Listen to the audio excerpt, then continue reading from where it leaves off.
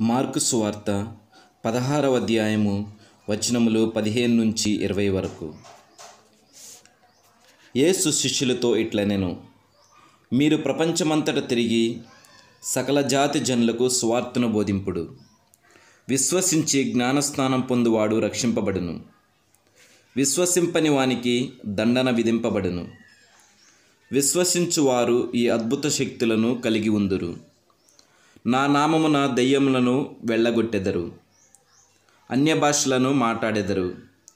పాములను ఎత్తి పట్టుకొందురు. ప్రాణాపాయకరమైనది ఏది త్రాగినను వారికి హాని కలగదు. రోగులపై తమ హస్తములను ఉంచిన వారు ఆరోగ్యవంతులగుదురు. ఈ విధముగా ప్రభు అయిన యేసు వారితో పలికిన పిదప పరలోకమునకు కొనిపోబడి దేవుని కుడి ప్రక్కన కూర్చుండెను. పిదప శిష్యులు వెళ్ళి అంతట సువార్తను ప్రకటించిరి. ప్రభువు వారికి తోడ్పడుచు అద్భుతముల ద్వారా వారి బోధ యథార్థమని నిరూపించుచుండెను. ఇది క్రీస్తుని సువిశేషము. క్రీస్తు ఆమెకు స్థుతి కలుగునుగాక ప్రియ సహోదరి సహోదరులారా ఈ దినమున పునీత ఫ్రాన్సిస్ షౌరి గారి పండుగను కొనియాడుతున్నాము. పునీత ఫ్రాన్సిస్ షౌరి వారు భారతదేశమునకు వచ్చిన వేదవ్యాపక ప్రచార సువార్థికులలో ఒకరు. ఆయన పోలికగా జ్ఞానస్థానం పొందిన మనమందరము ప్రభువు మనకు ఇచ్చిన వేదమును ప్రకటించడానికి నియమించబడిన శిష్యులము. యేసు ప్రభు గలీలయలో తన మొదటి ప్రచారం చేసినప్పుడు దేవుని రాజ్యము సమీపించినది హృదయ పరివర్తన చెంది దేవుని సువార్తను విశ్వసింపుము అని ప్రకటించారు. దేవుని సువార్తను విశ్వసించడం అనగా యేసు ప్రభువుని తెలుసుకొని విశ్వసించటమే.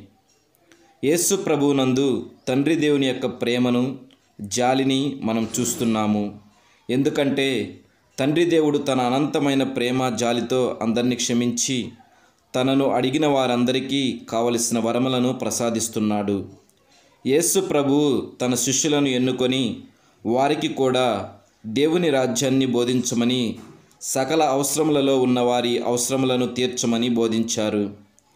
ప్రభు శిష్యులమైన మనమందరము మన జీవితాల ద్వారా యేసు ప్రభు యొక్క ప్రేమ జాలి కరుణను మన పొరుగు వారికి చూపించాలి.